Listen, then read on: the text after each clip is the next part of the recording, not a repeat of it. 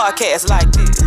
Check it, check it, check it. It's a unique hustle. It's your boy ECO, and I'm here with the lovely, amazing, official Miss Jamaica. Wait. Well, go on, you know, Madelle.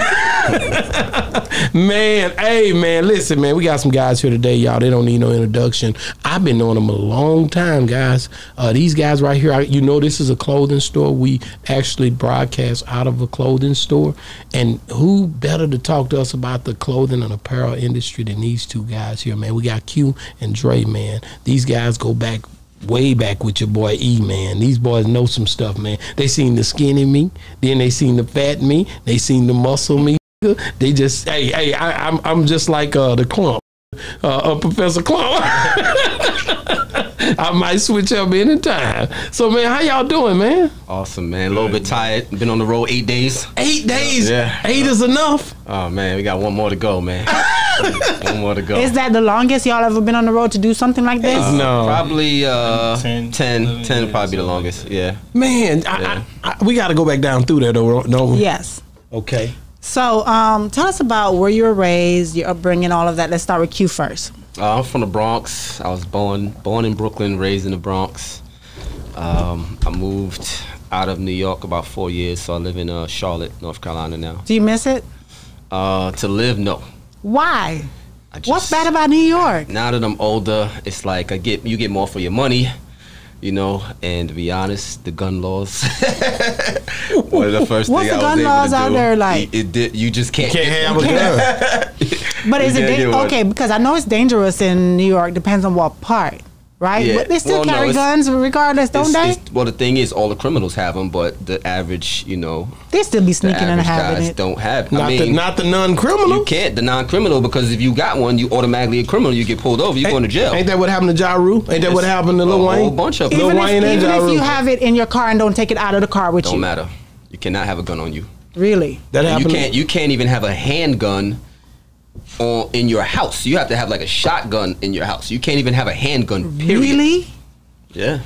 man. Wow. Well, let's carry a shotgun everywhere. So Brooklyn coming up as a kid, man, like Bronx. be- I'm, oh, you from the I was Bronx? raised in Brooklyn. I mean, I was born in Brooklyn, but I was raised in the Bronx. You was born in Brooklyn, raised in the Bronx. Yeah, yeah. Ain't that where uh uh Fat Joe from? Oh yeah, BX. Yeah, Yes, yeah, that's where Fat Yes, Joe sir. from, Yes, man. sir. Yes, sir. Yeah, yeah, Lean back. okay, but what's Right. which one's better? Because I always heard about Brooklyn, Bronx, and Queens. Be careful. Them three. Be careful. So which one's the best? It's not that one is better. It's that they all different. They totally different. Harlem's different. You know what I mean? He's from Mount Vernon, which is like right outside of the boroughs. Mount, Mount Vernon is like rich area, right?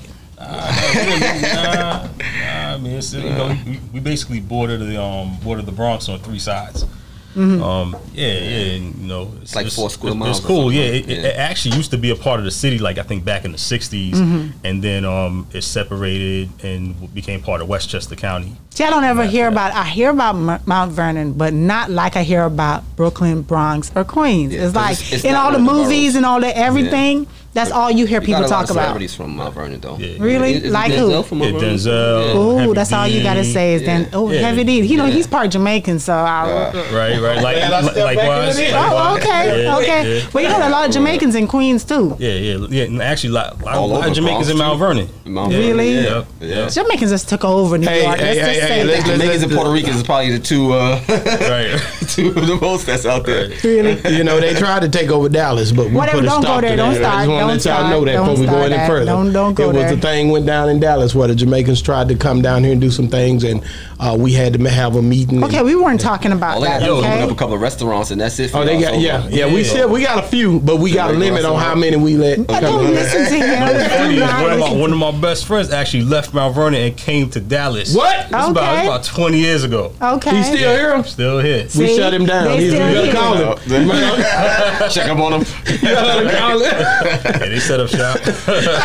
So, what was it like growing up in that area for you? Was it like dangerous for you, or Um, I mean, you know, a lot of the Bronx is, you know, is the hood, but I was raised in Co-op City, which is um, it's a middle class neighborhood. My mom was a nurse, my dad was a cop, so you know, I, I don't have one of those stories to whereas we didn't grow up having anything. I had, I didn't have a lot, but we had what we needed. You know what I mean? Dope. So I had a, I had a good, a a good childhood. I would say. You know, of course, we dealt with the crime, we dealt with the shootings, we deal with all of that stuff. But I just, you know, I can't say that we were we grew up poor or anything like that. And you say you was raised with your mom and your dad? Uh, my dad was there up until I think I was about ten or eleven years old, but I still saw him after that. You Where know, did he just go? split. Did it split up? Oh yeah, they split. So yeah, you saw him yeah. like weekends and Yeah, you know, yeah, yeah, yeah. So you yeah. only child? Oh no, I got um a brother and I got three sisters. You the oldest? I'm the youngest. Youngest, you the baby Yeah, boy. I am the baby. So all of that split probably affected you the most.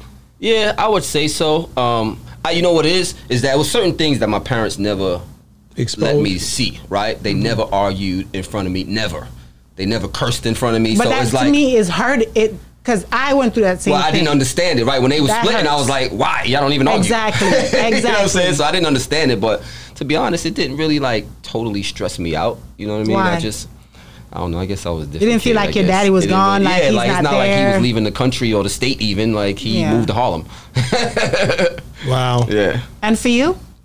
Um, yeah, I mean, you know, just growing up in Mount Vernon, um, I grew up raised by my mother. Money Money- earning Mount Vernon. Money earning Mount Vernon, yeah. Damn. Yeah, yeah, yeah. Let's get it. Yeah, some history, some history there. You know? But um, yeah, you know, raised by my mom's, um, pops, you know, was moving around doing this thing. Why you is know that I mean? such a thing? It's like I'm Well, tired of hearing. I can tell that. you why. Uh, let me just break that down. Because men you. are just rolling I- I stones. They don't this. like to no, stick- no, stick no, it out. No, That's no. why. And, and women, it's a difference. You know, uh, uh, sometimes you stay there. You know, the Bible says that a nagging woman is like a leaky faucet. So you know, there's some things that that that are being said to where But patience is a virtue. Well, He well, said it. I well, didn't say well, that. well, Just I, so I, you I think Just so you got- he said the leaky faucet. I ain't say that's that. biblical. That's biblical. All I'm saying But is. patience is a virtue. It is. It is definitely a virtue, but all I'm saying is there's going to be issues. The one thing we got to understand, guys, is that at the end of the day, with with God, all things are possible. I end it like that because you know whether you was whether they was together, whether they wasn't together. Uh, I think God puts things back together in His own way anyway. You know what I mean? You guys are here. A lot of guys crashed out that didn't even make it to be our ages, your ages, and y'all still here. Come on, man. That says something. Y'all won. that's a blessing. Y'all don't hear me. Y'all won no, no, already, no, no, man. Y'all, you can think of people that are not here no more Oh, because for they sure. crashed out. Lots of them. Right. And, and they was right, friends right, of right. y'all's. Yeah. And you still here. you know what I mean? So God has a way of working it out no matter what your upbringing is is, is like. I mean, I think I think well, in my situation, I think my pops was just he was just hustling, doing his thing, and you know, um, he was getting getting getting money, you know, illegally. You know, what I'm saying back then, and he was just moving around, and he just found himself, you know, kind of doing them thing, doing this thing with like you know multiple women. You know, what I'm saying? I, got, I got like it's, it's six of us actually. So was he ever there for you? Like, um, I'm not going to, yes, monetarily, but actually there to like No, talk to you and not help that, you. Not that way either. Like he just Yeah. wasn't. He just wasn't involved. I, I'm actually. I'm actually. Um. I actually have a better relationship with his brothers Than him. than him. But You that what I'm saying? happens. But your mom was attracted to him. at that time. I guess. Yeah, I mean, You- you I don't- got- I let's mean, be real. yeah. I mean, I wasn't. I wasn't. I wasn't. Um. You know. I, I guess. I. I wasn't of age to really understand the dynamic Right. of their relationship because you know by the time I you know I really you know grew up and understood that he wasn't he really wasn't involved at all.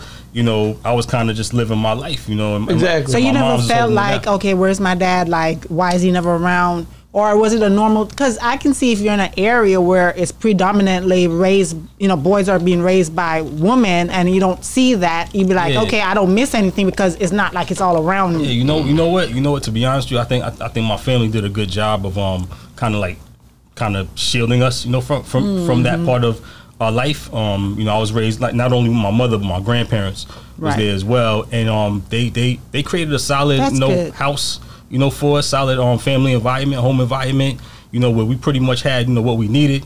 Again, not everything, but we had enough. Hmm. And um, And, and let me say this, we're uh, you know, don't don't knock it. You know, it's cool because even if your daddy was there, some of these daddies messed up as hell and they in the house. This is true. Yeah, yeah, yeah. Let's talk about that for a minute. Just cause they in the house don't mean that the house is perfect. There's still a big yellow elephant in the room that nobody talks about. When somebody knock on the door, you got to act in order to make sure people feel like you guys are representing correctly when you're faking. So quit. Don't don't try to come at me with the the dad ain't there and the dad is there and the mom is there and the mom ain't there. I I seen better people who who was who didn't have no parents. I've seen partners of mine who was brought up in orphanages. I just talked to one yesterday. Uh-huh. And then the twin brothers who came up with our parents who hell got books doing better than a bunch of niggas can't even write. You know But I see a lot of people Right. though. But I, I see a lot of people who go through life thinking that it doesn't affect them, you know, because he's never been there, whatever. Till you get older, you, when you realize the reason why you took certain steps or you made certain choices was because of that unknowingly. You know what I mean? Sometimes as we get older, we reflect because when you're younger, you don't see certain traits. You don't see the reason why we do certain things. But as you get older and you reflect, you realize, oh, you know what? That's probably the reason why I well, did well, this. you know, you know, you know. To your point, I would say, um, you know, when I when I came of age and I understood, you know, you know what he was what he was really all about and his upbringing.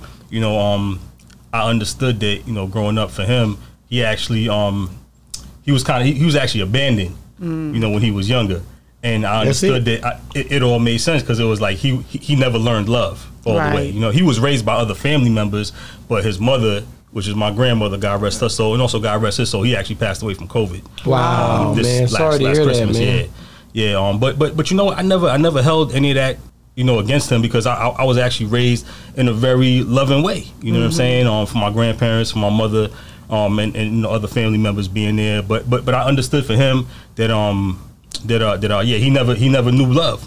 You know, Were he you? felt. ab- sorry, go yeah, ahead. he felt he felt he felt abandoned, and um, he he he could never he could never commit, Right. You know himself to anything, you know, for a long period of time. Were you ever able to build a relationship with him before he Oh no, passed? oh no, we know each other. We I, I, I know him very well. You know what I Mm-hmm. mean? It's just that, it's just that he was always moving around. He he would travel back and forth between you know the U.S. and Jamaica. You know, he's, Cause I um, figured that's the yeah, Jamaican yeah, side you yeah, were talking yeah, about. yeah, yeah, don't, don't, don't, don't even do that. Don't do that. Yeah. Actually, I, I mean, both my parents are Jamaican. Oh, okay. my- Oh, my oh, okay. like. Okay. You I'm? Uh-huh. But, I but, guess it's no, me and no, you now. You know, with that, and with, the, and with that, so I like, understand, bro. and, and, and, and, and I think I think part of what helped, you know, me have a solid upbringing is because my mom's like she grew up in the hood in Jamaica. You know what I mean? So it's like Where's she she was, from? Kingston? yeah, she grew up in Kingston. Yeah, yeah I knew it. yeah, yeah. Whatever. So it's like for her, for her, it's like she had to be the moms and the pops. So it's like you know when I was acting up, like she punched me in my chest. You know what I'm saying? It'd be like, yo, yo, get get yourself right. You know what I mean? And, Yeah, she probably you know, watched she- Woman King. yeah, yeah, Yeah. yeah. She she was very she was very open. You know, she didn't she she didn't really like bite her tongue. You know that much around us, and you know kept it real. You know, so to speak, and you know we and we and we just kind of you know grew up like hearing you know um uh, uh, uh, adult conversations at an early age, and How we many y'all? life. How many? Um, y'all? six altogether. With, You with, said with, with six. just me and my sister. You know, with For my your mom. Yeah, with my moms, and then um and then I got other brothers and sisters. Were you the younger for your mom or the older? I'm the younger one. So both of y'all baby boys. Yeah, entitled. Both of them. No, but I, I, I want to say, man, you know, just I like the fact of how consistent you guys been in the things I've seen you in, man, and just you guys' presence, man, always made me feel comfortable. Uh, You know, I knew when I went to a show or something with you, you guys. I knew it was a show going down. You know what I'm saying? When I got off that plane and I was going up there to Vegas or something, I knew the show was going down when I run into you guys. I said, man, that go cute. God dang it. I ain't Yeah, been listen. working out. That go Right, Drake. you know I'm that nigga too ass. cool. That nigga too up, man? You looking a little heavy right now. What's going on? Hey, let's talk about that for me. I got to talk about this, man. Yo, your diet and the way that you work out, man. Being a part, you know, seeing your page and stuff. Was you always this size, or how did that happen, bro? And I, I was been a long I was time. I started hitting weights at 14, right? But I mm-hmm. started even I was doing pushes push ups at like seven years old. Damn. Yeah, it was like it's my life. I think I, I think I remember watching the movie Rocky 2 with my dad Okay. on TV. And that's what started. And I literally worked out forever. And I was like seven years old. I never stopped working out. it Yup. just came seven natural. years old. As soon as I turned 14, which was still too early, I started hitting heavy weights. I started doing like um, competitions, like local I was about competitions. to ask you about that. Does it affect you like when that. you start too yeah, early? 14 is a little early to lift weights. Like calisthenics is okay, which I do a lot of. But um, weights, you should What does it do? Weights you should do about 17. But what does it You do know, to you I when you, you- start too early? You said too early I because mean, they did say you it can stunt your growth a little bit, but you know, it's, it's hard on the joints because you're not fully grown. Your growth plates are not, you're not all the way grown yet. So you need to get to that point to where. Did you see that can kid on social media? It was a young kid, and he was like yeah, all yeah, swole yeah, up. Yeah, it's like, too early. It's yeah. too early. Yeah. I mean, me, uh, if I would have waited to 17, I probably wouldn't have some of the injuries I have now, but Yeah. I'm still good, you know. Yeah, but yeah. I just, I started early. It was just a love, and plus I was always short. I'm only five eight, so I was always the short kid. So I was like, if I'm gonna be the shortest guy, I'm gonna be the strongest, and that's what it was. I'm knocking Yeah, that's what it was. Did, I just kept- did- yeah. anybody ever just be like, ah, oh, you think he all that because he big? And I mean, you sure you get it. Just no one just don't come to me with no, it. no, but, no. Somebody, done, I see a I've heard- white, I seen a white dude bump a dude. You see that white dude walk around and bump them big guys. You've seen that? Yeah, yeah, yeah. Oh, yeah, yeah, yeah. Nah, that's it. Yeah. Well, see, me, I don't really like. I don't walk around like, you know, Yeah. like that. Like, and then it takes a lot for me to go off. So, Yeah, like, you know, yeah. I can have a confrontation because with you have somebody, and I'm super calm. Like, I'm always like this. Well, you got a gun. That's that's guns. That's yeah. weapons. yeah, but I don't. You know, I can I can have a confrontation with somebody and be like, okay, really, all right, You can walk away. you got it. Oh yeah, no problem. But then the point is, if I give you all of these chances to to stand down, after that, then it's call the police. It's you know, then it's nonstop because then I'm just gonna dive on you. So you know, because But I gave you so many chances. It's like you know, sir, please, you know what I mean? Just relax, man. We here to have fun. It's okay. Just you know, Yeah. enjoy But they say man. some guys You are big for nothing. Like not every guy who is big can fight or can do anything. Yeah, that's not the case. I mean, I started, I was taking a little bit of martial arts when I was like 11 years old. You know, my dad. So my dad was in the military very early, right? So he did he did 17 years in the army. Wow. And then he did. Um, then he came out and did six years in the Air Force. Then he came out. That was 23 years, and then he came out and did 20 years as a cop. So he told talking about 43 years of service. Wow. So he was. Your You know dad I mean? was straight So- business, wasn't he? Yeah. And this is your biological yeah. father. Oh yeah, yeah. Okay. Yeah. So he was straight business. Yeah, yeah. So you know, it was always, you know, of When course, you was went to stay gun, he always him- had a gun. So that was never. Did you ever know. go live with him?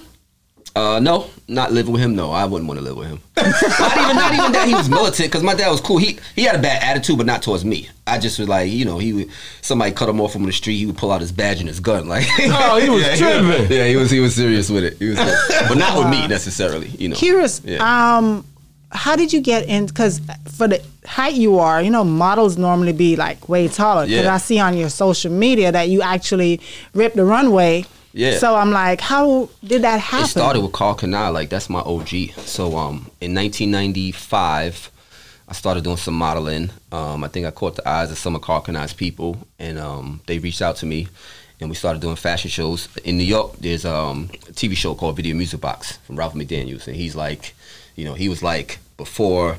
BET, before MTV, before all of those was playing videos and hip hop and all that, he was playing that. So 4 p.m. he started doing um, a fashion show Friday. called Fat Fashions, Wow. and um, when I first did that, that's like if you're on that show, you pretty much a celebrity almost. Wow. So um, I had got on there, and we just started doing all Karl fashion shows, um, and you know I was kind of known as like a Karl Kani model, even though I wasn't signed, but I Yeah. was just doing anything Karl Kani. And then one day after a fashion show, I just came up to Karl, you know, and I didn't really know him, know him, but we high and by kind of thing. And I was just like, Karl I said, this modeling thing is cool, but um, you know, I'm looking for something in the company, something long term. He kind of looked at me like, he was like, yeah. You know, he was like, nobody ever said that. He was like, all right, cool. And then he had a guy named Brother Arthur, which you probably remember about Brother Arthur. He used to be at the show Yeah. back in the days. Yeah. And um, he was kind of like a big brother to me. Yeah, He was in the yeah. Nation of Islam. And he was like, man, just come to the office. So I would show up to the office like, what y'all need? Y'all want coffee? What you need? Yeah, intern. And Karl was living in L.A. Yeah. But he was like, "QD again? Like, damn, boy, he's there again. He said. So one day he called me. He was like, he called the office and he was like, I got something for Q to do. So he was like, he said, Karl wake up in the morning about like four or five in the morning every morning, right? He was like, he watches, the time it was like Good Morning America, whatever that show is they had with Al Yeah, yeah, whatever. yeah, he watched every morning. He said, tell Q to go down there with a Kani sign and hold it up.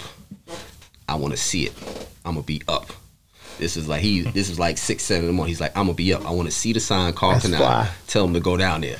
And me, I'm like, I don't want to do this. You know what I'm saying? I, don't wanna- I don't wanna- I was like, you know what? Pay my dues. Yeah. I went down there for like two weeks. Had to sign up. Boom, he be on TV. He be like, oh, dang, yeah, I see it, Karl Kani. yeah, yeah, so he was like, all right, all right. And then, so then one time, Al Roker actually came up to me. And he was Wow. like, yeah, he was like, what's this sign right here? I said, yo, it's, you know, it's a clothing line. It's a black and owned clothing line. You know, he said, I said, if you give me your sizes, I'll bring you some clothes and stuff. Oh, But instead Look of me at you, a thinking, salesperson. instead of me, him, me thinking he's gonna be like, oh yeah, yeah, he was kind of like, nah. And this was heavy Al Roker at the Yeah. time, so Right. he, he was like, uh, nah. So next thing you know, security came to me. Was like, yo, you can't be here no more. he was like, he was like, "Get up out He told it on you. Yeah, yeah, he was like, you can't Al be here no more. Roker snitch. Is he still living? Yeah, he around. Yeah, I, think, I think he's skinny. skinny now, though. I think He's skinny now, but he, he's still living. He's a snitch. Al Roker. Say you always one, man. You shut Karl Kani sign down down there. You know, I, Yeah, yeah. hey, I watch you, man. Don't do this. I told him it was black owned too. yeah, so then, you know, Karl was like, all right, that was a good job, man. And then I think like the following week, he was like, man, he said, yo, get that motherfucker a job. Wow. Straight up. He was like, get that motherfucker a job. Then I started working. I became a, a rep. Um, they gave me a certain territory, and then the territory it was like New England territory, which is like five states in New England, which is like, it was nothing up there at the time. And I went out there, and I just started opening accounts. I would go to the club, like, yo, where you get your outfit from? Dude, they give me stores, started writing it down, and then I would just spend like a week out there, and I would just go to every store that people tell me they get outfits. I'm like, yo, Karl Kani? I'd be like, Karl Kani? I was looking for this. Boom. I opened up like 35 accounts in a year in Wow. a territory that we didn't, I think we had five accounts in the whole territory. Man. And that's how, you know, it kind of started. And then I worked for Karl as a rep for five years. And then I left there, and then I started working for Phat Farm. Yeah. I remember. Phat Farm. Yeah, Come yeah. on, you know who that is, Yeah, I man. Stop remember it. playing, and then when um when I started when I left there, me and Karl just became tight. So today he's still one of my best friends. you Yeah, know yeah, I mean? We yeah. I talk- we seen y'all talked a couple together. I've seen y'all together a lot, a few so, times. um, so I left there and I was working for Phat Farm, and I was on the footwear side, the footwear license. I was there for eight years. Then from there went to Rocawear. I was there um, on the footwear You side. You well. work with uh? How long was I you work there? with Udi on the footwear side. Okay, you on Yeah, footwear on side. the footwear side. So this was um, it's licenses. So Right. you know, apparel is different. It's almost, it's a different company. You know what I mean? It's still under the Rocawear umbrella, but it's a different company. Same thing with Phat Farm. So I did that. Yeah. Dre, what was you doing? Just hanging out in Vegas when I seen you? Didn't I see you work? You worked for Akoo and some more people, didn't you? I worked for Akoo for a period of time. I, you was a model. I seen you in some model pics. Yeah, yeah. I mean, Yeah, I, I, I, was- seen you in a few of them pics. Don't play, I'll pull them up. I was, pull them up. I was modeling, but I was like, You I was a in the mix. I was a walking billboard for them, you know, rocking it, rocking the joints. But um, yeah, man, yeah. Those How'd you get into it? Wow. So I started. I started in the business about um, Yeah. man, this is like 2000, like around 2000. I was um going to school at the time. I was in college and I was working at Macy's. And um, while I was there, you know, um, me, me and a partner of mine who, who, who worked there with me, we was like, man, you know, we kind of, kind of getting tired of this, man. Let's go. It, it was cutting our hours and stuff like that. And we was like, we got to figure out how to get some bread. So we was like, man, let's start our own T-shirt brand up. So we just decided to get up one day and like, you know, take the train down to um down to down to Manhattan. You know, we went to uh, Macy's at Herald Square Okay, I know where you at. and uh, you know, we was like strolling. on. Actually, before that, we we went down to 28th Street. This is they used to have like these uh, Broadway. yeah, yeah, 28th Ain't and Broadway. spot, boy. Yeah, yeah, yeah, they used to they they used to have these little like there. warehouses in the buildings. When you go in, they just be selling blanks, like Everything, anything. Yeah, yeah. So we was going in, we was like pricing out teas and whatnot. And I I think they was trying to get us on the price. We was like, damn, these is expensive. You know what I mean? So anyway, on the way back, we stopped at Macy's. I'm like, yo, let me just walk through here, man. I ain't been here in a minute. And we went up to um, the young men's floor, and they had just put in a Sean John shop. Okay. So we seen this dude over there. He had like dreads, and he was kind of like folding the clothes and all of that. And he was rocking Sean Johnson. He was like, "Yo, that must be the rep right there."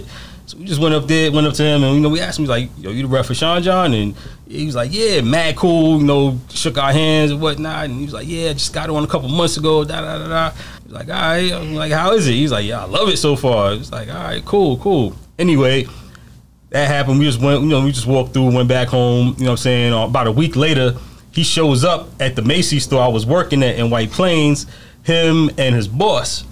And um, they came to do a shopping store. He was like, yo, we met you like about a week ago. Yeah, yeah, like, yeah, yeah. yeah, what's going on? Da, da, da. Anyway, um, they got to they got to setting up the shop and you know putting out the merchandise and we pretty much um helped them the entire time and you know you know got got them whatever they needed and um and uh, pretty much by the by the end of the day when they was getting ready to leave, uh, uh, his boss offered me a, a, a opportunity to intern. You know, with him. Okay, okay. I'm like, I'm like me. I'm like, I'm like, well, all right, shit. I'm like Sean John. I'm like, what I got to lose? You know what I'm saying? Big So- at the time. yeah, yeah, yeah. It was huge. You know, it, it, it- was it was getting big. Actually, it was really getting big. This is probably like it's like 2000. So, anyway, um, he was like, "All right, bet." This is probably like on a Thursday. He was like, "Yo, meet me on Saturday morning, uh, on Fordham Road in the Bronx. I'm gonna pick you up there, and we're gonna drive to Brooklyn, Fulton Street. We're gonna go to Kings Plaza, and we're gonna go to Green Acres Mall." Um, and we're gonna and we're gonna set these shops up. So Saturday morning. Anyway, I was like, I, I ain't got nothing to lose, man. You know, worst thing that could happen is, you know, I opportunity comes out of it. So anyway, um, I get up, get up like five thirty. You know, meet them down in the Bronx. You know, we get to driving, we get to Fulton Street, we set up the shop out there. Um, and after we fin- we set up that shop, we went to go have lunch at Junior's, which you know those who know you know Fulton Street where Macy's is in Brooklyn. There's a Junior's at the end of the block that um that goes that like just like at the intersection of like uh Fulton and Flatbush somewhere around there. And uh, we had lunch, and he pretty much offered me a job. I'm like, what? I'm like, I'm like, hell yeah. I gotta You know, take this so- thing. So um so yeah so so so anyway we uh the day went on and we, we did the other two installs. We went to uh Kings Plaza we went to Green Acres did that. And um yeah man he hit me up the next week and was like yo. It's been on ever since. yeah and so so you know I interned for about four months. And then um after that after those four months like I was up in the office like often. So I was going to school in the evenings and early in the day I would I would I would go there. You know what I mean? And um just pretty much help out. And I was going there so much similar to what Q said like you I was going there so much like people started asking me. I was like like, yo, did they hire you yet? And I'm like, no. You know what I mean? So, you know what I mean? But I was there and it was like, it was like, yo, it was like, yo, you're good, man. Like, we, we, need to get you on the team. Anyway, uh, you know, after those that four month period, you know, I got I got I got I got called into the office, you know, with the with the big big boss, and um, he's pretty much like, yo, we want to offer you opportunity to come in and assist, you know, the the the, the person who, The person you know, who brought me in as, a, yeah. you know, as an intern. I was like, sure, you know what I mean, and um, and you know, uh, uh it pretty much started right there. Man, you, You, know, know, what I mean, and that's how I got in the business. I'm telling you, man. You know, you guys are. Hey, man. When you first, like I said, going to Magic, that's how I know you guys, man. And I gotta ask y'all this: when y'all first went, the first time you went, I want both of y'all to tell me, how was it, and what the hell made you be there? Like, what brought you to the Magic? You know what, what I mean? made Let you tell you. stay there? What made you? Right. What When I- made you go? I want to hear your story. Then I want to hear your story. right, right. When I first got there, right? So Who invited you? Don't tell me when I first so- got there. No, so I, I signed on the Karl Kani, right? So I was 20 years old. Okay. At this time when I finally got the job, right? My first Magic, of course, this is Vegas. I turned 21, so Magic was Ooh. February. My birthday's in January, so I'm just able to get in and be in the casinos and all that. So this is like crazy. And then it was February, so I'm thinking this Vegas is hot. It's like 40 degrees at night. I'm like, what the? This ain't the Vegas I know. so then Right. I get there and I, I have no clue what to expect. No clue. I see this big ass white car coming out. I'm like, oh, we popping out here. and then it's you got to keep in mind. You got to keep in mind. This is 1997 now, right? Yeah. So there's hardly no black reps, right? So every any streetwear, well, really they called it urban back then, right? Any urban brand, there was no black reps, right? So Yeah. like 1997, 97 was- right? It was Kani. This was like just before Fubu. This was like Yeah, yeah. You know what I mean? This was before uh, most of them was out. Yeah. I think Maurice Malone was there. Yeah, yeah. A couple other ones was there at the time. So we get there and it's the whole sales staff for Kani was black. So I'm just like, man, this feels good. But then you also can see like You they can looking feel at it. us like you, they like You don't you know what belong I mean? here. Yeah. So this was like almost the new era of Was cross colors and Was- all? Was this? yeah. So yeah, cross colors. Yeah, yeah. Yeah. Of course, you know, cross colors. Um. I'm trying to think of these brands, man. Yeah, at the time, because then at the time, so like the the the the Sean Johns, the Phat Farms, the Rubles, they started to come. They wasn't Right, there right, yet, right, so they started to come about. So right, Tommy Like, Hill fingernail uh, back then. Yeah, yeah, yeah. Of course, It was but Hill course, there was none fingernail. of us. Yeah, there was yeah, no, he wasn't rocking with y'all at all. right. So you know, They we look were- at you bad, didn't they- they? you know, you could just see they You could like, and, and. I'm young. I'm 21 too, so you know. But they still don't look Yeah, at you like nah, they just look- want you at yeah, certain yeah, nah, places it now. was like it was You're- like crazy. Yeah, it was it was crazy. Definitely, so then definitely a little bit of that. Yeah, because I, you know, Karl Kani really brought the party to Vegas because that's when he started. This was before. Now, you know, after that, it was a party. There was 10 parties Yeah. every night. But Karl, it was the Karl Kani was the only party in Vegas during Magic to go to. It was Wow. the Karl Kani party. That was it. Until all of the other brands started coming in, then everybody would do a party. Yeah, because we like to night. party. Yeah, we, we, we Yeah. got it in. But that would bring excitement. So then after a while, I got people from New York like, yo, we going to Vegas for Magic. I'm like, for what? like, you ain't in the business? What you going for? We going to party. I'm like, They just going to party. this is getting crazy. but the first time y'all went, did he he had a party set up that first time or the first time, no. The first time. No, he had to feel it out first. that was? yeah, I mean, the um, first that was no. his your first time Yeah. and his first time was together. No, no, no. Karl was he was He had doing it. already He was, been yeah, doing he was already been. Yeah, Karl So started saying, '89. But when you got there, yeah. you get there, you kicking it. There was a Yeah. party the first time you got there. No, I No. think probably the second. The second The time. second, probably about the second time. I think. I wonder what prompted him to. Did he ever tell you what prompted him to do a party? Nah, I don't know. I mean, it was just a lot of hype around the brand, and all the celebrities were wearing it. And Karl was close with like Snoop and all these guys, so it was just like, It just made sense. yeah, it just made sense to do it. You know. What was the first um, black brand ever? Do you know? Well, you you know you had you had Cross Colors, you had Walker Wear. I know, but the first, right. first, First- black brand. I maybe say Cross Colors. Yeah. Also, I- the I'd guys. say oh, the owner Colours. name was Carl as well. I think Carl. It was cross Carl. colors and Carl. Yeah, yeah, yeah. But Carl actually signed on So there was no under, brand under, before under that. Carl from yeah, Cross I- I Colors, and then he got it. into his own thing. But he actually originally was was uh, Carl brought him in.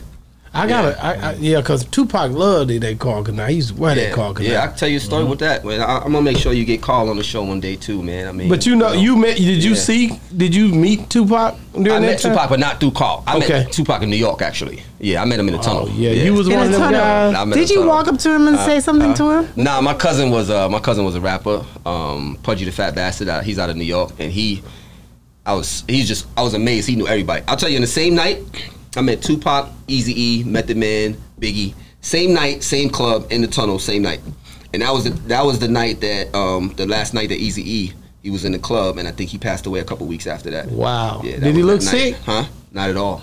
Not at all. Did you talk to any of them? when you say you met them, mean met like, them, hey, think, my um, name is such and such. Did you Um, meet them he, like that? He was really close with Tupac, so he he would have like long conversations with Tupac. But he just always made sure. My cousin would always make sure like that I that I shook hands. He was Okay. like, if you ever if I ever introduce you and you shake hands, it's somebody I love. He's like, I'm only gonna introduce you to killers and somebody I love. So if you shake their hand, it's because I love them or they're a killer. that's what he said to me. He said, that's, That's real. That's you." real. Yeah, yeah. So so yeah. So I met a lot of them um, back then. But Karl, man, he was just like. That man's the OG right there, man. Yeah, yeah, yeah, yeah. He he Like- really is because, like I said, when I seen him out there, you, when I seen him out there, he was uh he, he he just you and him strolling along. We was at Drills one night. Yeah, I seen y'all. Y'all was kicking it.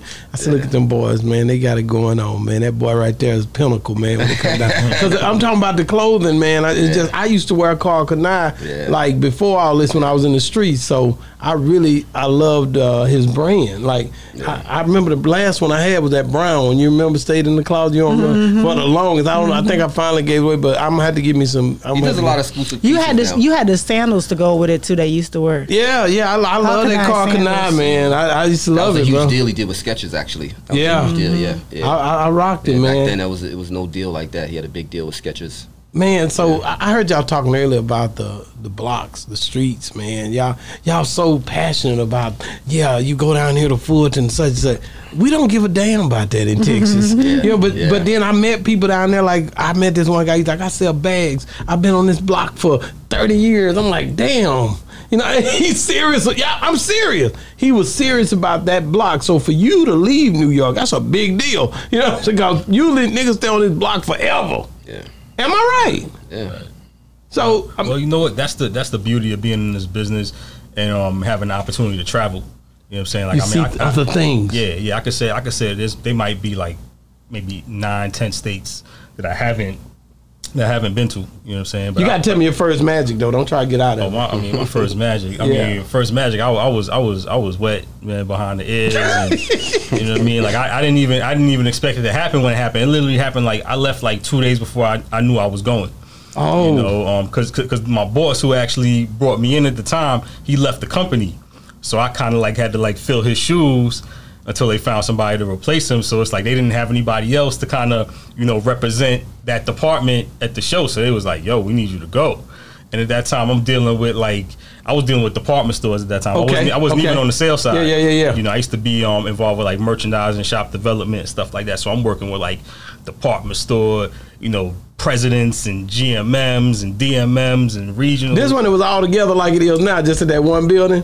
Yeah, yeah, Yeah, it was, yeah, uh, everything right, was the- solid, but there were more yeah, people. yeah. It was way more Right, people. Las Vegas Right. Convention Center. Right. Yeah, Yeah. all there. Right. Yeah. So um so yeah, man, and it's like, you know, I had to I had to deal with like all of those guys and you know, so my first show, like basically the way the way Sean John was set up, you know, for that particular time. I don't know how long it went on cuz cuz I I wasn't there for, you know, for I left maybe like 2 years later, but um we had to go to go to Vegas in suits.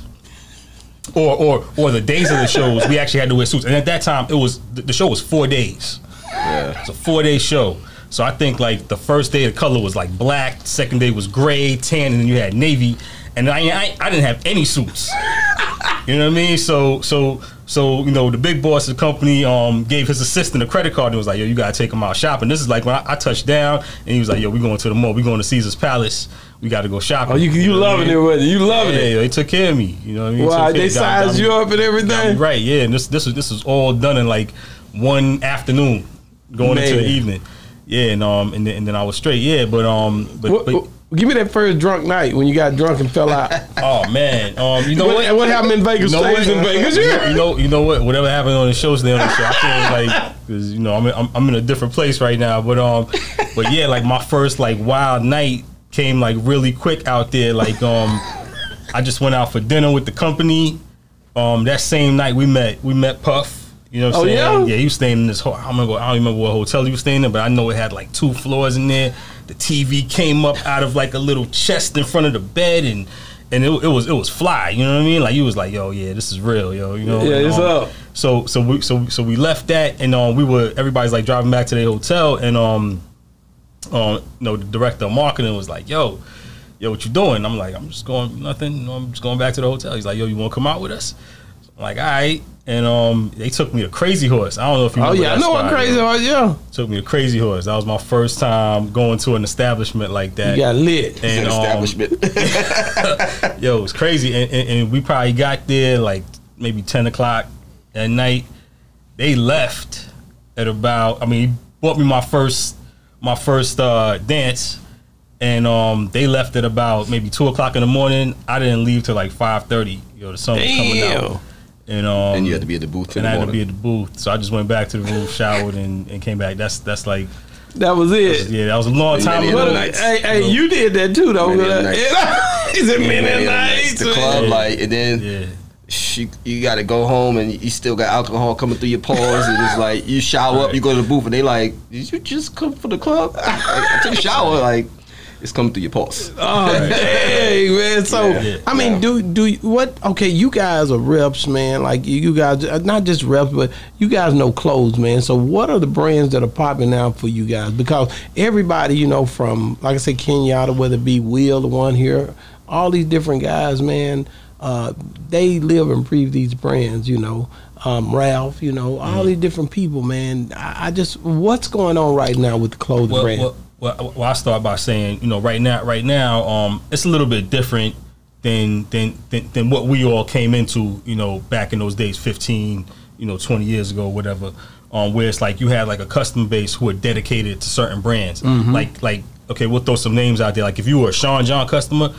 All you wore was Sean John. Yeah, you know what yeah. I'm saying? And, and and that retailer knew that he could buy that whole collection, and he's gonna have that certain customer base that's just gonna come in there for that brand. Then you had a, a Rocawear customer. You know what I'm saying? Where all he rocked was Rocawear. That was his that was his thing. You had a Parish or a Nietzsche. You oh, know Or what I'm saying? Mesquite, or uh, Mesquite, Phat Farm. You know what I'm saying? Right, right, right. And and, and and that was that was that back then. Today's customer really has no loyalty to any brands, and there's so many more options out there. You know what I mean? At that time, there was really like limited options. You know what I mean? But now it's like trends trends move so fast. You know what I mean? That it's like it's it, it's hard to get to, to really get a solid um a solid grab on the younger customer now. You know, the older customer is still the same. He hasn't changed. You know, he's just he's just you know more advanced in life now. Yet you know he's likely got a family. He's got a solid job. He's holding down. He's got a house. He's got he's taking care of his responsibilities. And but but but he's still attached to that era. You know what I'm saying? That was his probably his favorite era. You know, so he's like, yo, I still want this type of look. You know, for my for my fashion. Is you know that what the saying? same thing you're seeing? Same Yeah, he, I mean, he said it well. It's, it's really an item driven business now. So it's not they're not supporting the brands, right? So they're not they're not saying I need this one brand. They're like, you got stacked denim, Right. I need stacked denim. You got an oversized tee, I need an oversized tee. They Right. just you know they'll get it from another brand. They don't necessarily necessarily have to have it Right. from that Whatever the specific trends brand. are, that's what as need. long as you Yeah. you have the look, they're gonna buy the look. Whoever has it. When I first got into these clothing, and this store been here for 16 years, I had another store, like four stores at one time, but these pictures I would put on each wall at each store just so people would know that these brands were coming from a real genuine place. Because of coming to a mom and pop, they don't have that sense of security to say, "Oh, is this real?" You know, you'll get that in these mom and pops, and so you know, uh, I put those you know situations up there. How big of a part do the artists play now? And I'll ask you this: uh, in helping those brands to to move. Is it still the same driven space with this internet world we live in, or is it now you have to be looking at it from a different perspective? Well, it's a little easier, you know, because social media is free, right? Like before, to promote, we has to we have, used to have to spend ten thousand dollars for a page in a Source magazine. You know, twenty thousand dollars for a page in a Vibe magazine. Now you can literally have one million followers, and you post it, and now you just reached one million people. So it's much easier that way. But there's still licensee deals, which a lot of people don't know. They think that sometimes, you know, if a guy has a brand, that automatically he's the owner, and that's not necessarily the case. You know, he might own the name, but you, if you're signing a licensee deal, then he's getting a royalty, right? And the company is really doing most of the work, but he's the face of the brand. Wow. Yeah. Any questions? No, sir. You sure? mm-hmm. Is there anything that you can think of in this clothing world? Because you know you are clothing. Uh, uh, Want to say she pick a lot of stuff. When, we know. And- Shows, she was the Nancy, pick. You yeah, walk they off and you be like, all right, she gonna handle it. Yeah, I've been trying to get away. You know. He was trying to go around and talk. What we can what we can do is we can tell you the brands that are hot right now that we're selling, you know, as independent salesmen. Yeah, you see in the this salesman just business, came out, you see man. the That boy salesman just just came jumped out out there. there. Ah! So for- What you got? I asked you that question for listen, listen, for your for your audience that's watching, you know, we got things like Smuggler's Moon, premium denim, you know, some of the illest denim you're gonna find in the market. Beautiful washes, you know, comes with you know all the cool bells and whistles that you want to see. You know, stash pockets on the legs, and you know, just really really good quality denim. He also has a denim line um called Doctrine. Okay. that he, that he does as well as Lot a stack stack denim. denim, yeah. You know, um, we have our streets is watching. You know, Oh, you always yeah. That's that's the right, one there. Right, right. And, and, and, and as I'm as I'm as I'm th- putting these brands out there, mind you, these are all black owned brands. Yeah, yeah. Streets is You know what watching my boy. Y'all not know Right. that boy Black Prince. Leaf too. Right. Black Leaf. Black Leaf, owned, that's my brand boy Gary. Miami. Yeah, yeah, yeah. Yeah, stop playing. You know I know. Yeah. But when you're so- talking about all these brands, one thing I've always seen when you go to the magic show is that um, depends on what's in style. A lot of these brands replicate each other, um, whether it be off brands or you know premium brands or whatever, because it's whatever is trending is what a lot of these brands go with, except from their core styles. You know, their core styles stay the same because people buy it all year round. But whereas like fashion and trend, you know, because it comes in and goes out why would people want to spend the money to buy the premium name brand stuff rather than to go buy Well- something else that is similar you know within it used to their- be the way to whereas if you wanted, you know, Phat Farm, you going to get Phat Farm. You know what I mean? It's a little bit different. They're just not supporting the brands anymore. They'll take Exactly. the look and and you know, personally, a part of me brain blames the retailers, right? Because before. You had to have, let's say, the top five, whatever it is, the Phat Farms, the Karl Kanis, Mm-hmm. the the, Coogi, whatever. You had to have that, right?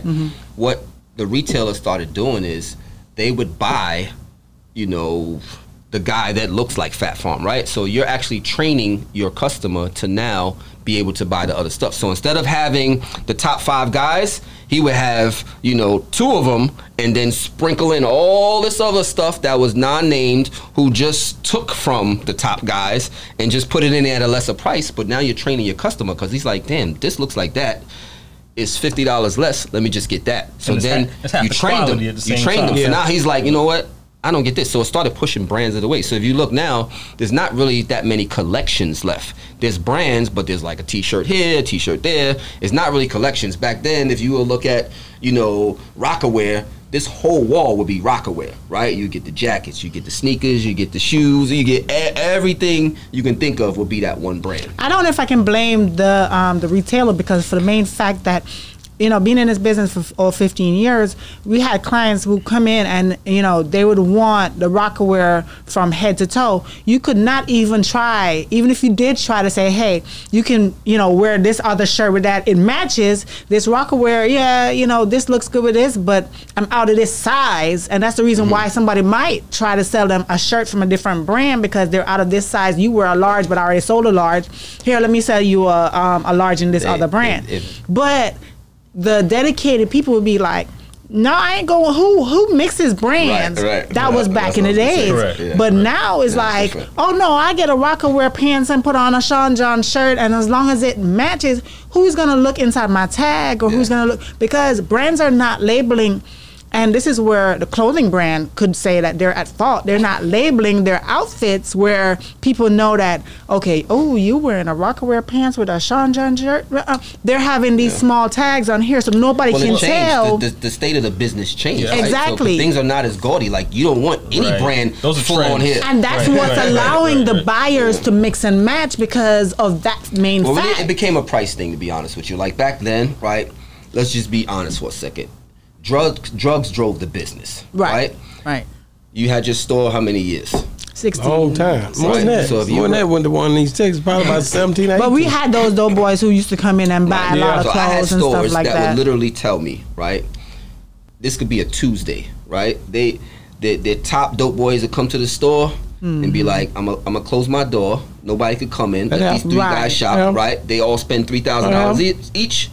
Maybe I'll close for the rest of the day, maybe not, right? It really drove the business. So Mm-hmm. Exactly. back then, you can, you know, there was no, there was Monday, Tuesday, Wednesday. There's no day where you're not making thousands of dollars. Now Mm-hmm. I can go and go into a store and sit and talk to a guy for an hour, not one person to come in, Here- or three people can come in and nobody bought nothing. I gotta, I gotta say this, man, because I hear all that spiel. You know, a lot of knowledge in here, a lot of knowledge. That's right. Respect, big respect. But I think there's a thing that's going on also with the marketing strategy. I feel like they're not putting it out the way they should with the way the resources we got now. It could be done in a way that's strategically placed in a place where you have to, like you said, that million subscribers.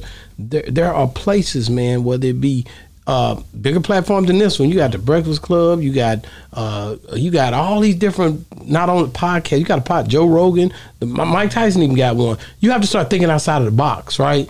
Everybody watching certain things. I think people are not hustling hard enough. I'm being real. I'm, I maybe maybe I'm tripping. Well, because it's I mean, easier. like if you get to these people and say, "Hey, man, you do this, man. I'm gonna do this." I'm pretty sure they would do it, but people not thinking like that no more. They just basically just sitting back. COVID made a lot of niggas n- uh, lazy, bro. Like it's a lot of things that you could be doing because there's new. You got you got different people that are are, are, are these these uh, viral moments going into these people who are making them happen. There, are these people out there, but if we market it on that level to what's catered to what's going on today, Right. what do you think would happen? Well, I, I think I think I mean, you know, I'm gonna say this. Don't I mean to cut you off. Uh, let me finish this. Uh, once, uh, what was them them them ones that they used? They used to. They was killing. They were killing y'all too. Uh, they the, the girls Cardi B wear them. What what's that brand? Steph? You- Balenciaga? No, no, it wasn't no big brand like that. Reebok? No, the one where they would come on, they would get these clothes to these people, and they was on the internet.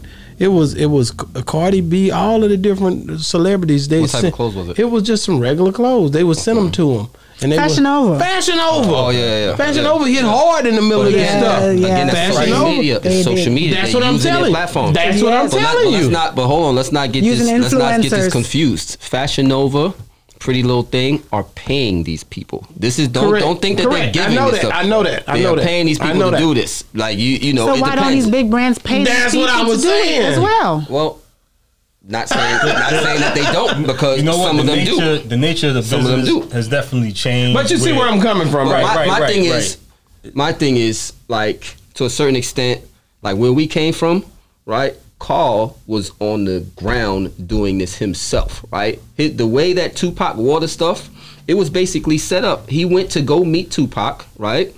In a room. Tupac is in there reading the script. He's not really paying Karl no mind. Da, da, da, da, da. And then Karl is basically like, yo, you know, what's it gonna take, man? How much I gotta pay you to to wear my stuff? Tupac was like, you black. You ain't gotta pay me nothing. Literally, they became tight from that one moment. That's big. That was Pac's statement. That's big. So think about that, right? Like you want to come up, you know, you my brother. I'm trying to help you out. Like yeah, once you get big, yeah, pay me. But guess what? You want to come up just like I am. Let's help each other, right? He started wearing this stuff. You see where it took, you know, where it took Karl. So that's what I'm saying. Like it doesn't always have to be about money. Right, and some Right. people are like that. I'm Yeah, not saying if that But some people not like yeah, that no, But if you at the mm-hmm. point where you mm-hmm. already got it, then yeah, you're not gonna not pay me for some stuff that I'm about to do for you. Correct. But you know, if you all on the come up, then come on, let's do this I together. just think the marketing got to be on that level. We got to market it Well, because even on the rap music, all this stuff is mentally being pushed to you market wise. I'm telling you, I think we got to be on top of that if we're gonna keep these brands on another Yeah, because you're right. Because uh, sorry, but when when you think about premium brands, premium brands used to do placement on rappers and actors, actresses, whatever. So, but now it's become a thing where who's hot, the brand ambassadors, the internet, whatever, and you never saw them switch and did that except from as like he said, the fashion novas and stuff like that. But where the premium brands are concerned, you hardly saw them doing that. And that's what we're saying. They'll do a photo why- shoot. That's about it. why not? Why didn't they switch with the curve and and jump You know on that lane? And it ain't too but late. I, but I like to come back with the question to you, right? no, no, and this is this is real because think about it. Like, why is it that Gucci doesn't have to do it, but we should, right? It's like you're asking the question, right? And it's, I'm not saying you, but this is the question that gets asked all the time, right? So you know, same thing with Karl. They used to ask Karl, why your expensive, your clothes are so expensive. All right, if I was a white man, would you be asking me that? So why are you asking me that? I'm black. Mm. I can't make expensive clothing. You get what I'm saying? Mm. Right. So like, mm-hmm. why is it that you know all of these hot rappers can go buy Balenciaga, Gucci, They and do. all this other stuff, but then you're not going to buy your own, you know, your own brother's stuff? Mm-hmm. Like that's a question. Like who can answer that for me? you know what I'm saying? Like you want to look cool because you're going to buy the European stuff. They but do it all the Why not time. buy your own? Why Yeah. not support your own? Yeah. You know what I mean? Because they honestly don't care about you.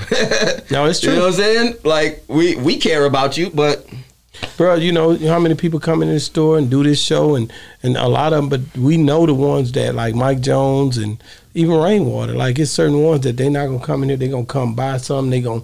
It, it's been a bunch of them. Uh, Sir Charles Jones. You can you you can tell the ones who really. Who they're going to support you just because you're a black owned business and they here to do this show. Right. They're not for to play with that because it's been guys drive over here just because of this show. I'm like, man, I just got to buy some. Guy was here yesterday. I just got to buy some, man, because at the end of the day, you know, y'all uh, y'all show love and y'all black, and this is some, this is a real thing. Another, another But- oh, example is go ahead. sorry to cut you off, but like, all right, if you're going into the Gucci store, you asking for a discount? No, No, right? So why should you go into the Brother Man store and ask for a discount? But when you think about that, you know, when we were talking, I thought about one other person. Um, I think it's more. I'm not going to say yes. It has to do with black and white, but it also has to do with you know status of the brand. Because look at Yeezys. Yeezys is a is Kanye, Mm-hmm. but they're not going into those stores or, or and be like, hey, I need a discount. I need this. I need from that, a black whatever. store, you're gonna ask for a discount. You know what I'm saying? If you go into Adidas to get Yeezy, you're not asking for a discount. like- and he knows that too. you know what I'm saying? Right? he knows that. But how many Yeezys are in black owned stores? Oh, there's a lot. There's There's a some in there. It's- There's it some might out be there. as much as you know. You see, but there's a lot. You go to Chicago to there. this partner store. I guarantee some Yeezys in there. You know what I mean? Because it, it, I it's think out we, here. we all have to be a part in. I'm not saying you know retail. I'm not saying you know us, but just we all have to be a part of that. Like I we gotta so, too. support each other. I don't mind. Like yeah, I got Gucci. You know what I'm saying? But you know, I, I want to be able to support. You know, I want to be able to support us, and we all should be supporting us. Right. already. Well, hey man, uh, in, in, let me see. How can people get a hold to you if they trying to link Open a up? new brand open a new brand, uh, Yeah. trying to holler at you know get the real, you know, because you guys are you guys are staples. You guys are, are are the you you guys are like like the the Kenyattas and like the Jerrys and like the Ralphs. I, I respect all of y'all, man, because y'all y'all work so much. Lisa, who called me last week, I was so happy to hear from her because I hadn't heard from her. But just different stuff like that, like like like like you guys are those guys, man. So everybody just watching this show got to understand who these guys are, man. These guys are the guys that who they just playing themselves to be, man. Karl Kani, Sean John, these guys been in the game for a long time. So at the end of the day, just give me a spill on how can a person really link up with you if they trying to do something. They own a store. How can they how can they get at So you? we, you know, we learned the business, right? And what the business has taught us is that we have to have our own as well. So even though we're representing these brands, we now have our own business, right? So Correct. he has his business, which is called Green Room Sales. okay. You know, I have mine, which is Qualified Sales. It's a Beautiful. sales agency. So now, instead of working for one brand specifically, we contract multiple brands and we put the brands in stores. So that's what we do. So Okay. you know, for me, mine's is qualified sales. You can easily DM me on Instagram. It's at qualified one one three. That's Q U A L I F I E D one one three on Instagram. Cool. Yep. And um, easiest way to get a hold of me is by email. Uh, you can email me at greenroomsales number one at gmail.com. Again, that's greenroomsales number one at gmail.com. Well, man, hey, man, did we get everything? Did we did we turn everything upside down?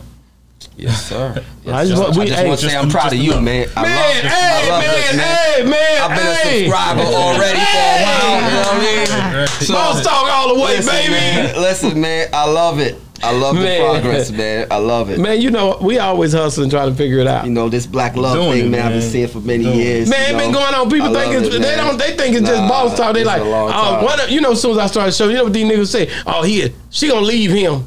I'm like, what? Listen, man. Damn, cut the camera off. Yeah. She, she a boss too. You know what I mean? Y'all, y'all locked in. Y'all locked in. Man. It's a wrap. It's been 20 years, man, and we've been hanging in all this time, bro. Congratulations. So we just trying to do what's right. You know, we got kids, we got family. We try to be, uh, uh, we try to be family to the people that come on this panel too. So it's been a lot of people. Like I always say, God put us here for a reason. This is my ministry. I get to talk to a lot of these young people. Uh, people that sit in those seats. Uh, three this year died, got killed. One, two got killed. One, One died, died from natural. and they was all young. Yeah. They're 22. You know what? That's 21. That's something I want to pray for- so- too. Pray we- for the youth. But when you when you get a chance to speak to them like I get, Yeah. so you have to give them something that's gonna take them somewhere. Yeah, this ain't just this ain't just your average run of the mill show. That's a fact. This is a show that Yeah. get to speak to young brothers who may have some music, who may not make it to next year. Yes, sir. I get a chance to talk to them. Right. And you mentioned earlier, you know, we we we are we we not saying that we up there in age, but we getting up there. Come on like, now. It's a, it's something to celebrate. It's You know something to saying? Like- like you celebrate. can't- you, can't, you can't see us in the street and be like, ah, old. Nah. You better, We you better, made it. You better pray you make it to that age one day. You remember they used to say that to us when we were young? You didn't even think, know what they was We- talking about. They be like, "You better now. hope you like you old." We be like, "Man, you better hope, man. You better pray you get to my age." I heard people say that. Now I'm that guy. I think about it sometimes. I'm like, I can't believe, man. I'm man, in we my got- forties, man. I'm We got kids and all of that. That's you know a what I'm saying? blessing. It's like you know, we, we we just we're just trying to pour into our children now. You know what I'm saying? Like the lowest hanging fruit, try to pour into them so that they could they could go out and when they interact with others, they'll kind of take that same energy that we're pouring into them and pour it into their friends and you know what I'm saying, and create a more positive environment around them. And that's that's man, really where we at do me right a now. favor, man. I Like- gotta read this um, because you were talking about the three people that passed away. Okay. So I had um, the other day we interviewed um, LD, which is she's the manager of one of the guys who had pa- gotten killed. got killed. Um, and we had a group of kids behind Bunch her. of. Some of them were was his brother, and some of them Yeah. was cousins and friends happened and last so week. forth. So I just got a message from the mother of two of the kids that were here, Wow. and she said, "Hi, my name is." um, and I'm the mother of AK and Jacoby, two of the kids that were at the interview with LD about strap. I just wanted to say thank you so much for talking to my kids about God. It was like God answered my prayers because I've been praying that my kids would have a closer relationship with God, especially after losing strap. So thank you so much and God bless you. That, That's awesome. I, you know, that's what it's about. mentoring is something that you know we do as well. And please, you know, even her, feel free, man. You know, you got you got these young guys who who's some of them is just they just need a little help. You know, a Yeah. little guidance, need a big brother. Please reach Yeah. out to me. You know, Yeah, something. I love to do. That's like Right. my passion. Me and him are, you know, we're men of God. Um, Man. you know, we serve on a regular basis. Yeah, yeah. So please, mentoring is is is close to my heart. Man. You know, so if you guys Man. got, Right. you know, kids, anybody listening, That you got some young men that need to just have a big brother figure, please reach out to me. Man, that's uh, And what's that's your what's your handle again? Qualified 113 on Okay. Instagram, yeah. Man, I have I- a, you can email me as well, qualified sales at gmail. Okay, Man, if it's anything we can do, same thing. We here, Boss Talk here. We in the city. We out here in Dallas, man. We out here doing our thing, man. But really, God got us in these seats to be an example, to be um, mentors, Yeah. to be uh, ministers, to help these people, man. To help not only the kids, but also the grown-ups. I gotta say that because so many people say, "Oh man," but I read a book where you don't you don't say I'm gonna help this and I ain't gonna help that one. Matter of fact, you gotta help whoever God put in those seats or in your life. Because you might say something to that person that can erupt change in that person's life just by you speaking change into them. Because there's power in words. So what you say matters. And if you speak positivity into somebody, it don't matter what age they are. That's They can change, man. That's a fact. Hey man, check it, man. It's been another great segment of Boss Talk 101 where the bosses talk. And we have. Sir.